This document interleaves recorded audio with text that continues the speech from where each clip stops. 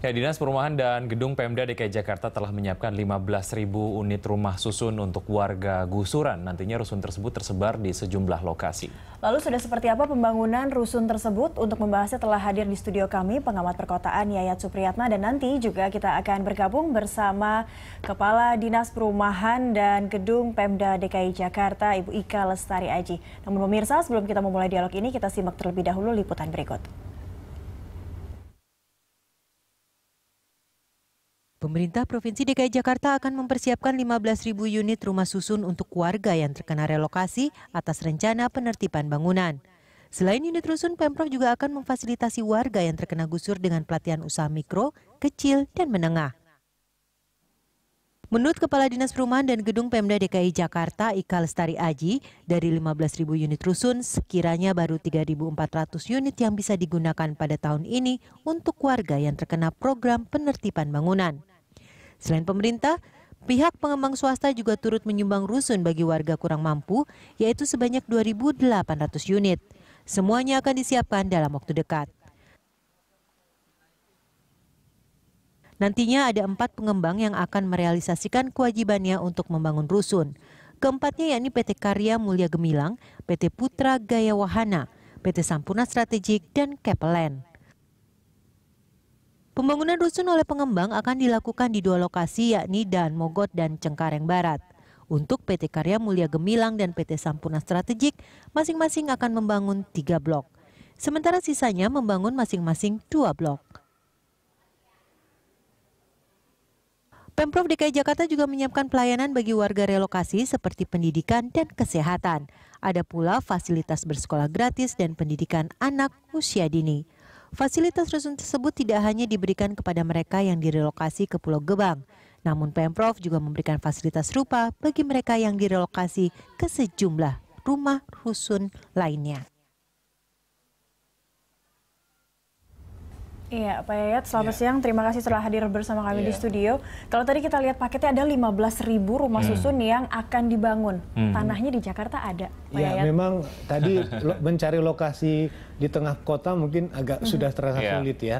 Tadi katakan di uh, Cengkareng Barat, yeah. kemudian hmm. di Kalideres, memang wilayah-wilayah pinggiran. Hmm. Harus diakui bahwa sebetulnya DKI ini sangat beruntung ini hmm. mendapat banyak bantuan dari pemerintah pusat. Hmm. Karena dibandingkan daerah-daerah lain itu kesulitan di daerah lain adalah mencari tanah. Hmm. Yeah. Nah, DKI kebetulan ada PT Jakarta Propertindo ya yang juga hmm. bisa menggerakkan mencari lahan untuk pembangunan rumah susun dan yeah. didukung oleh pemerintah pusat dan hmm. tadi ada dukungan dari pengembang dan dari Pemprov DKI sendiri. Yeah. Nah, jadi yang menjadi pertanyaan kita adalah ketika dibangun di pinggiran-pinggiran ini hmm. seperti katakan tadi jangan sampai dibangun di pinggir kan semakin memisihkan warganya yeah. ya yeah. karena jauh dari segala aksesibilitas. Betul. Tadi dikatakan tadi didukung nanti ada bis sekolah misalnya hmm. kan bagaimana dengan public transportnya, sekolahnya, pasarnya, kesehatan dan sebagainya. Okay.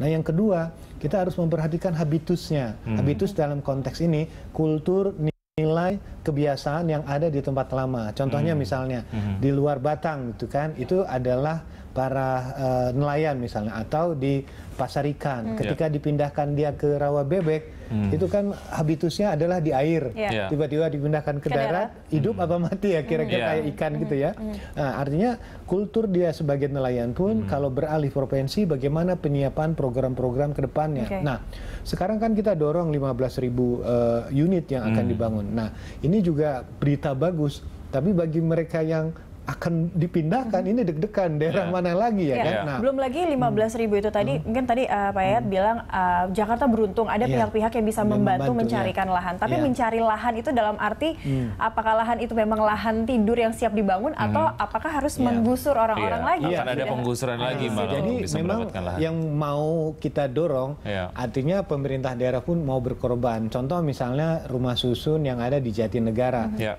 yang untuk menampung kampung pulau itu kan okay. bekas kantor Sudin PU Jakarta Timur ya kan, itu lokasinya lokasi emas loh. Iya. Jadi bekas kantor pemerintah itu eh, bisa dibongkar kemudian itu. Nah sekarang yang kedua di mana aset Pemda lagi yang ada Oke. yang kira-kira bisa kita kejar. Contohnya yang dikatakan tadi banyak pengembang yang punya hutang besar loh terkait dengan kewajiban fasos fasum yang Iya. 20%. Itu dari Pergub yang 2002 yang sekarang ini susah ditagih karena tidak Iya. ada sanksi dalamnya. Nah, sekarang pemetaan bagaimana aset-aset pemerintah daerah yang bisa dijadikan lokasi.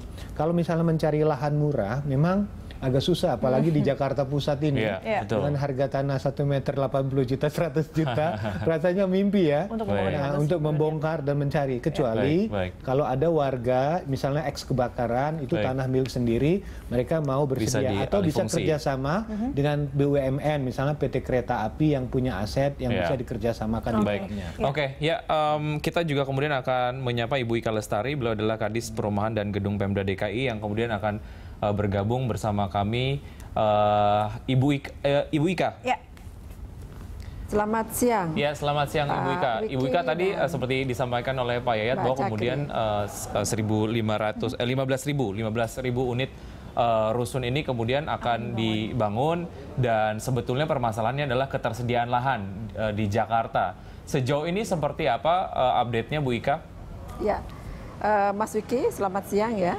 Eh, kaitan dengan rencana pembangunan rumah susun, ada strategi-strategi yang kami lakukan ya berkaitan dengan pengadaan lahan. Yang pertama adalah melalui lahan-lahan yang kami lakukan pembelian ya, seperti itu yang dari masyarakat.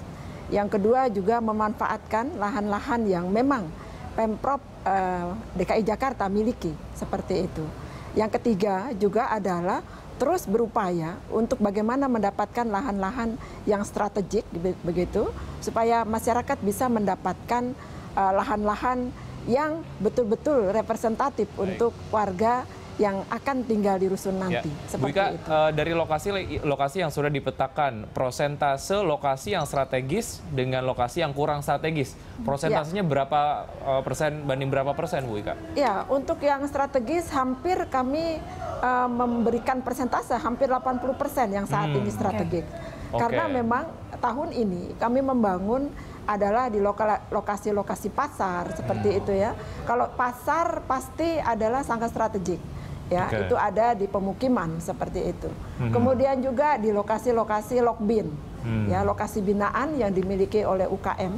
Ya. Ini juga menjadi prioritas kami dan itu sangat-sangat strategik. Oke, berarti Kemudian 80 pengadaan, ya pengadaan pengadaan lahan kami juga itu tentunya juga memperhatikan akses, ya akses untuk jalan masuk dan sebagainya. Ya. Ini yang sedang kita kembangkan dari 15.000 yang akan Oke. kita bangun Iya. tahun Ar- ini. Oke, artinya lokasi-lokasi ini sudah siap dibangun atau nanti akan ada pembebasan lagi, eh, Bu Ika? Ya, untuk 15.000 yang kita sudah rencanakan, ini lokasinya sudah fix. Ya, jadi dari lokasi-lokasi yang memang sudah kami pilih, ya, kami pilih yang betul-betul memang ini representatif seperti itu. Jadi ya bisa dibayangkan kalau pasar kan pasti di tengah kota, begitu. Lokbin juga demikian. Kemudian lahan-lahan lainnya. Oleh sebab itu, ya kami yakin bahwa tempat-tempat yang akan kami bangun ini bisa memenuhi kebutuhan masyarakat khususnya uh, yang akan nanti terkena penertiban seperti Iya. itu. Ibu Ika, kalau tadi Ibu sampaikan ini 80% strategis eh, terhadap eh, ruang lingkup masyarakat, baik mungkin fasilitas-fasilitas yang mendukung kehidupan masyarakat, salah satunya juga pasar seperti itu atau eh, tempat pendidikan dan tempat bekerja.